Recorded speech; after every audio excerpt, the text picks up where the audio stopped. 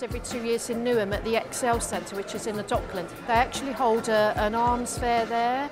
I think it's really important. I think that stopping arms trades basically stops killing, to put it short and sweet. Everyone should get involved in, in stopping the arms fair, um, especially the youth, because it's our future. So as we've recently discovered, a lot of the military equipment used in Yemen by the Saudis and the UAE uh, was effectively supplied by Britain and America, and a lot of that stuff would have been sold at DSEI. You know, I've been lived in London my whole life, in East London, and to see you know oppressive regimes coming here and being given the, the red carpet treatment makes me really sick. People should care about um, the arms fair that's happening in the Excel Centre in Newham because uh, selling the trade of arms and selling arms is fueling some of the worst wars that we see around the world. It's where war starts. It starts at the purchase of weapons, which is why I want to stop it now.